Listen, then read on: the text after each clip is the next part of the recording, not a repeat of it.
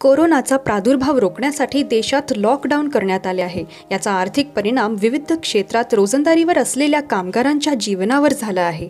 यामध्ये मराठी चित्रपटसृष्टीचाही समावेश आहे. लॉकडाऊनमुळे मराठी चित्रपटांचे चित्रीकरण बंद आहे. परिणामी चित्रपटसृष्टीत रोजंदारीवर कार्यरत असणाऱ्या पडद्यामागील कामगारांना आर्थिक अडचणींचा सामना करावा लागत आहे. या पार्श्वभूमीवर लेखक दिग्दर्शक अभिनेते प्रवीण तरडे यांच्या आव्हानाला प्रतिसाद देत मुळशी पॅट पॅटर्न या चित्रपटाचे निर्माते आणि युवा उद्योजक पुनीत बालन यांनी पुण्यातील बॅक स्टेज कामगारांना साडेसात लाख रुपयांची आर्थिक मदत केली आहे. त्यांनी मुळशी पॅटर्न या चित्रपटाच्या कामगारांना दोन लाख पन्नास हजार रुपये आणि चित्रपट महामंडळाकडे दोनशे पन्नास कामगारांसाठी पाच लाख रुपये सुपूर्त केले आहेत. आज अ, पॅटर्न टीमच्या तर्फे व पुनीत बालन ग्रुप प्रवीण सरपणे आहेत सोबत.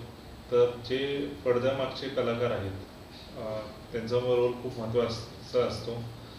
फिल्म बनवण्यात जे कलाकार आहेत तेवढंच त्यांचा पण रोल महत्त्वाचा असतो.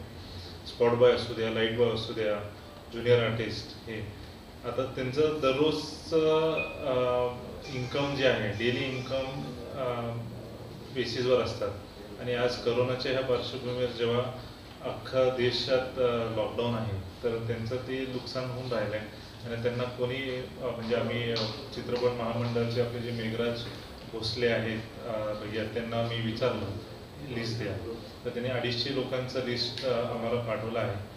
प्लस मुछी बॅटनचे जी बिहाइंड द सीनचे जे लोक आहेत ह्या सगळ्यांना असं एकूण आपण साडेसात लाख रुपयेचं मदत आपण त्यांना केलं आहे हे फर्स्ट फेजमध्ये केलं आहे. एक पूर्ण हे प्रवीण सर असू द्या विनोद सातव महाराष्ट्र नवनिर्माण सेनाचे चित्रपटचे अध्यक्ष पुणेचे जे आहेत अ, रमेश परदेशी. परदेशी पिट्या. आम्ही बसून हे लिस्ट करून हे पैसे आपण महामंडळाला ट्रान्सफर केलेत पैसे आणि ते त्यांना पुढे त्यांच्या अकाउंटला ट्रान्सफर करतील. कमीत कमी त्यांच्या घरातलं जे घराचं राशन जे आहे ते ते ते खरेदी करू शकतात. इतर जे आवश्यक गोष्टी आहेत ते घेतील. आतापर्यंत आपण अडीचशे लोकांना केलंय पहिल्या टप्प्यात प्लस आणि ही मदत पूर्णपणे कॅश मुद्दाम का तर आता कॅशची गरज आहे लोकांना. पण ती आम्ही अकाउंटवर ट्रान्सफर करणार आहोत. चित्रपट महामंडळाचे मेघराज भैया भोसले आणि महाराष्ट्र नवनिर्माण सेनेचे रमेश परदेशी उपाध्यक्ष महाराष्ट्राचे.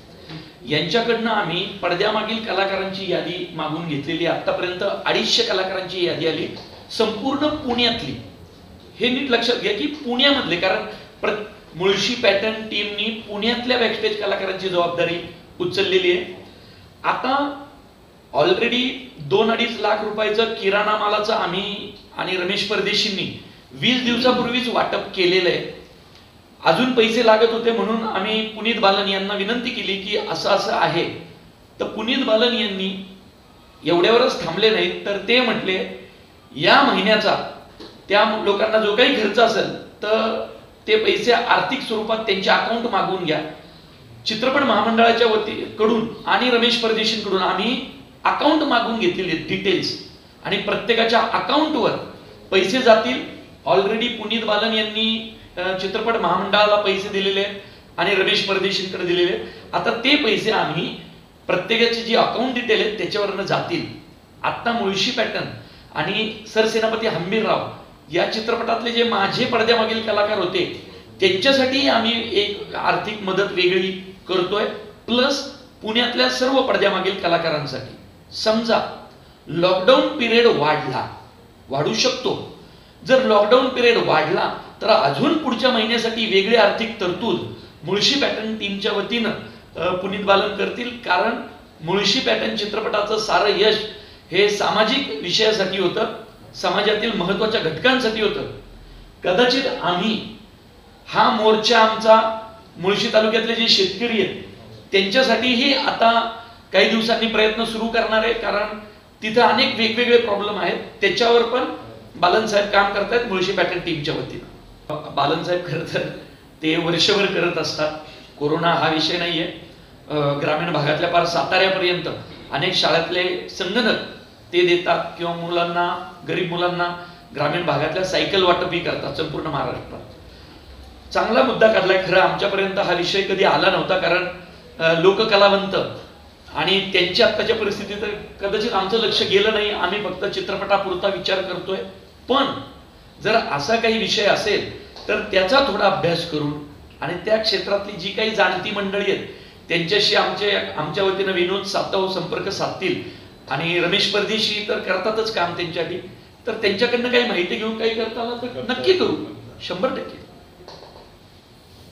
अखिल भारतीय मराठी चित्रपट महामंडळाचे माननीय अध्यक्ष श्री मेघराज राजे भोसले यांनी पुण्यातील पडद्यामागील कामगारांसाठी आर्थिक मदत केल्याबद्दल पुनीत बालन यांचे आभार मानले. बालन यांचा आदर्श घेऊन विविध शहरातील निर्मात्यांनी व समाजातील दानशूर व्यक्तींनी पुढे यावे आणि किमान दहा लोकांची जबाबदारी स्वीकारावी असे आव्हानही त्यांनी केले. अशा पद्धतीने कलाकारांना खूप मोठी मदत महामंडळाच्या मार्फत करणार आहोत. यामुळेच पुनीत बालन यांनी घालून दिलेला हा आदर्श खूप महत्त्वाचा आहे असं ते म्हणाले. अखिल भारतीय मराठी चित्रपट महामंडळ श्री पुनीत बालन यांचे मनापासून आभार मानत आहे.